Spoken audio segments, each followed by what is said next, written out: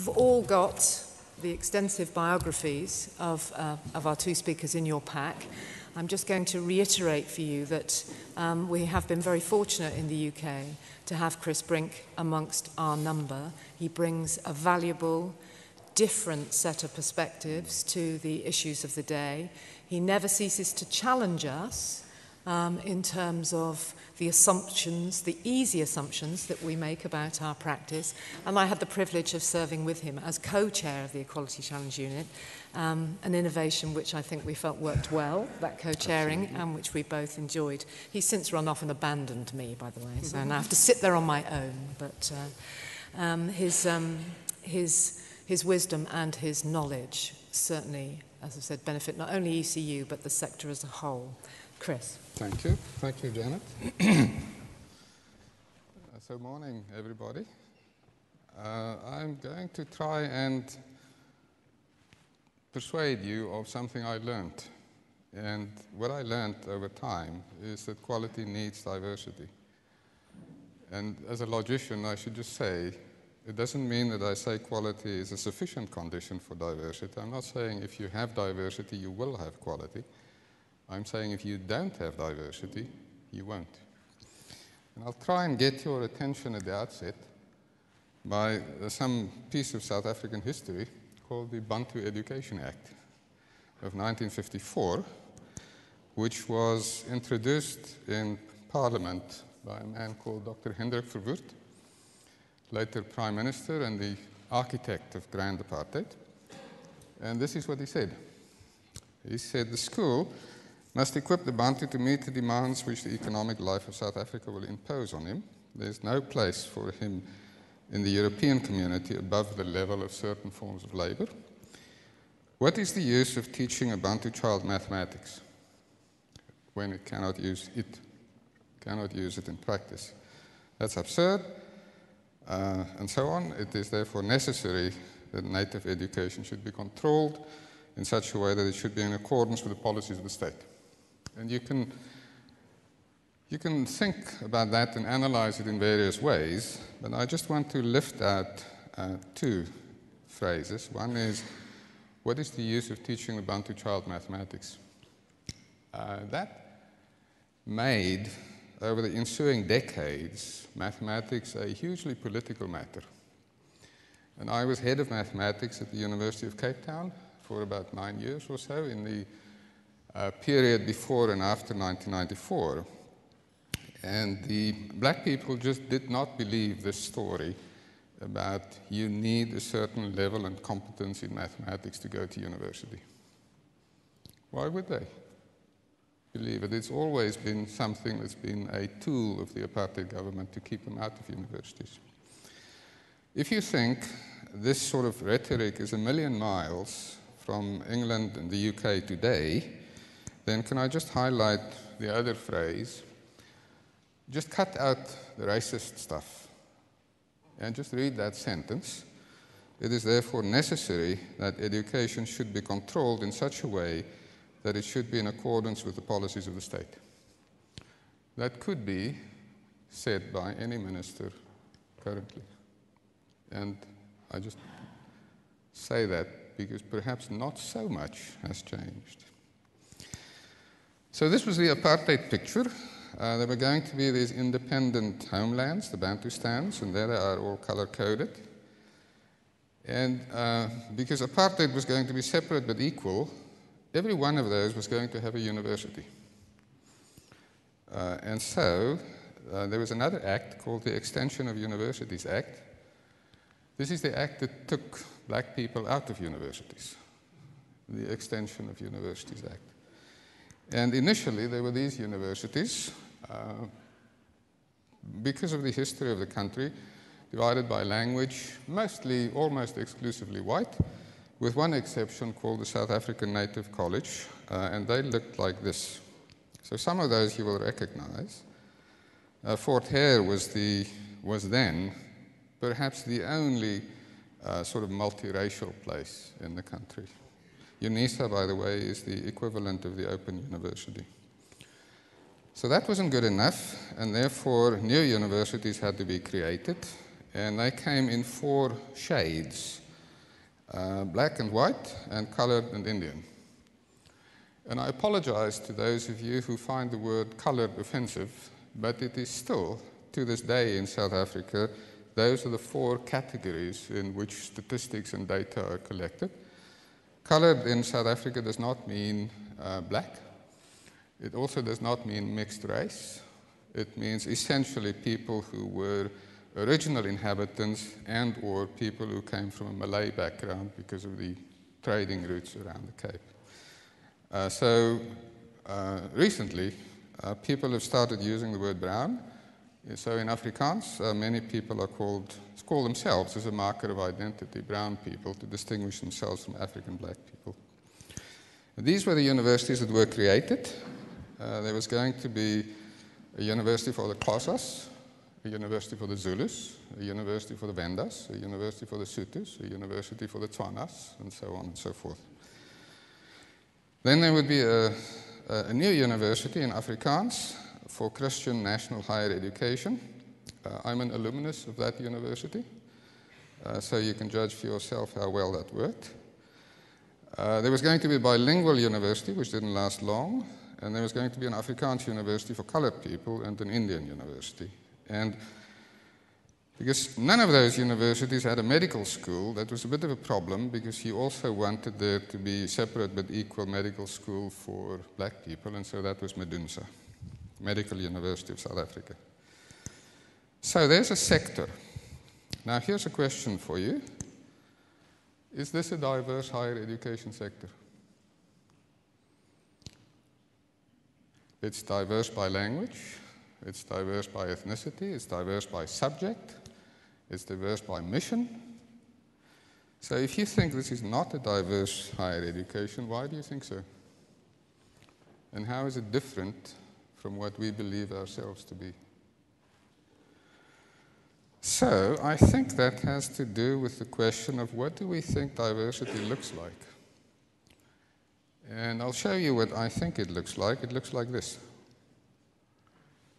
And what it doesn't look like is like this. So the latter is the South African apartheid version of diversity. It's all the Smarties of the same color in the same box. And then you have lots of different boxes, and that's what you call diversity. So I think to get to where we are now, I think there's two kinds, two levels of diversity we should talk about in higher education. The one is the diversity of the sector and the other one is the diversity within the sector. And the diversity of the sector, if you read in your conference brochure, uh, there's a piece there about celebrating diversity, and it says about where we're at. It says within this diverse market, different types of institutions sit alongside each other. And I think we should not stop there, because it's not only about the different institutions that sit alongside each other, like the boxes of the red Smarties and the green Smarties and the yellow Smarties and so on. It's also about what happens within. And so, what is the diversity profile inside each university? Do you have different colors of Smarties there? And perhaps we should also just go back to basics and say, does it matter? And if you think it matters, why does it matter? So I'd like to talk about this a bit, why diversity matters. And I think it does. Uh, and I think it does because we are educational institutions. And we, I believe, diversity has an inherent educational value. Uh, and I'll give you two reasons why I think so. Here's the first one. Diversity is a educational value because it creates opportunities for learning. Uh, I certainly would not have learned very much if I hadn't met other people, different people. Uh, where, uh, where I grew up, it was very remote. Uh, I was an adult before I spoke English. I was an adult before I saw a television set. I was an adult before I ever ate a mushroom. And I learned from all those experiences and others like that. And as a university, if you say we are a educational institution, then our job is to learn, not just as students, not just to teach, our job is not just to teach, our job is to learn. And I want to relate that to my previous life before coming to England at a place called Stellenbosch. So if Alan would kindly click on that hyperlink over there. Uh, this is a town called Stellenbosch. Uh, some of you may know about it, some of you may have been there. It's very beautiful, um, very tourist attraction. It's very well known for wine. Some of the wine you get, get in the restaurant might well come from there. In fact, this place, the big place in front at the bottom, is called the Bergkelder. There's lots of wine in there. Uh, it's very well known for rugby, so we'll keep an eye open for Stellenbosch people in the World Cup uh, next year. But what is less known is that this is where apartheid was invented, uh, in this beautiful little town. Uh, there's a long association. The University of Stellenbosch was intimately connected with the development of apartheid, the conceptualization, the development, the implementation of apartheid largely came out of this town, out of Stellenbosch. And Hendrik Verwoerd was a professor of sociology at the University of Stellenbosch. The first apartheid prime minister, uh, D.F. Malan, was a dominee, a minister of the Dutch Reformed Church in Stellenbosch. Uh, when Verwoerd was assassinated, his successor was a man called John Vorster. Vorster was an alumnus, of course, of Stellenbosch, and he became the chancellor. And Vorster's successor, P.W. Botha, was the chancellor of the university. All, when I went there, I was recruited from Australia, uh, and uh, where I went from UCT. And um, I was only the seventh vice chancellor of Stellenbosch University in 100 years or so. I was the first ever outside appointment. I was the first ever not to be an alumnus, uh, inside, not an in, from inside the university. Uh, I was the first ever not to have been a member of the Afrikaner Broederbond, which was the secret organization behind the National Party. Uh, I was the first ever not to have been um, a member of any political party uh, or to have been a member of any of the cultural Afrikaans, Afrikaner organizations. And the question confronting me was what do you do with a legacy like that? As a university, talk about impact. Here's a university that has a major impact in the world. Now, what do you do with a legacy like that? How, in the new South Africa, I went in 2002, eight years after 1994, for a university like that, eight years after 1994, they just kept their head below the parapet. What do you do to bring that into a rainbow nation? So, if we can go back, uh, please, to the. And I thought I'd better uh, grasp the bull by the horns. And uh, in Stellenbosch, the custom is very nice custom that at the beginning of the academic year, which is January, of course, this is the southern hemisphere, there's an academic opening which has the usual academic procession, and the vice chancellor makes a speech and so on. And uh, I thought uh, it was a few weeks into my tenure, I thought I'd better put the cards on the table. And so this is what I said Stellenbosch University needs more diversity, and not as a political gesture, not only to redress the past, but because of the nature of what we are. We're a university. Our business is about knowledge. And so that means we have to learn.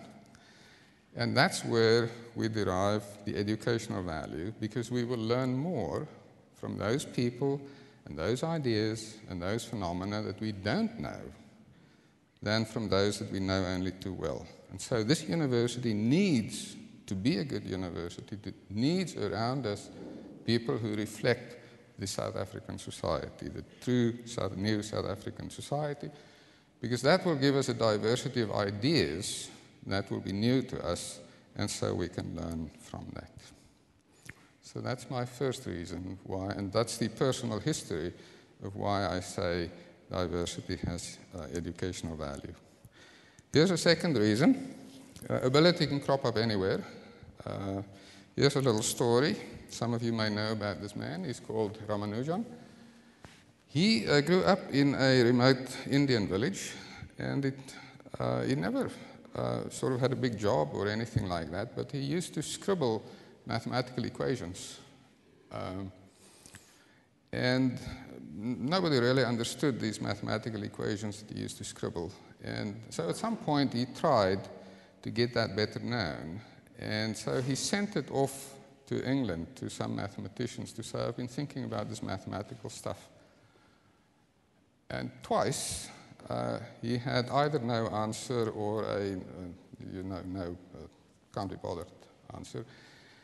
Until he, uh, he happened to send them to a mathematician at Cambridge called G.H. Hardy. And Hardy actually read the papers. Uh, these sort of rather grubby papers that came from an unknown young Indian man. Uh, and he said, My God, you know, there's something weird here. This guy is either a crank or a fake or a genius. Uh, and it turned out that he was a genius. And so Cambridge University brought him over from England, from uh, India, not a trivial matter at the time. And they installed him in uh, Trinity College, and he uh, became an FRS, and he collaborated with Hardy and Littlewood, the mathematicians, on really fundamental stuff. That's not something that came through an elite schooling system. It was just innate talent. But the point of that little story is if Hardy didn't do it, we wouldn't have had a Ramanujan. So ability can crop up anywhere, but ability needs opportunity to translate into attainment. And that's where I think we can come in, because we can and we should, I think, play a role like a Hardy that says, uh, fortune threw this in my path, and I'm not going to let it go. So uh, here's another thing I said when I went to Newcastle, and again, I came here, as it were, from another planet. Uh, and that was in my sort of inaugural year, that was the guiding principle that I put to the university, which has since been taken up in a few places. If you Google that, a few universities here actually use that on their websites ability should be able to access opportunity regardless of circumstance. Now, I don't want to complicate matters, uh, but I just should point out that the ability, the diversity also raises a risk, and that risk is inequality. Arguably, if you don't have any diversity, you don't have any need for an equality agenda, because we'd all be the same, and so it wouldn't be a problem. But the risk of inequality I think here is particularly manifested through something that I learned from Howard Newby. Uh, and you can, this is one of our colleagues, Howard Newby, who said the English have a genius for turning diversity into hierarchy. And of course, that was what went wrong with the original uh, sort of black and white divide idea of uh, in South Africa. It was always going to be separate and never going to be equal because it was always going to be uh, hierarchically structured. So that, I think, is a very dangerous form of diversity because the higher ups will always consider the lower downs to be inferior. It's in the nature of hierarchies. And then you don't want to learn from them. And if you don't learn from them, then you lose the opportunity to raise quality. So this is sort of the take-home message. I think social diversity is valuable to the intellectual environment of the university in somewhat the same way as biodiversity is valuable to the natural environment. It's that rich spectrum, it's the way things interact and hang together. And that's why I think that quality needs diversity. Thank you.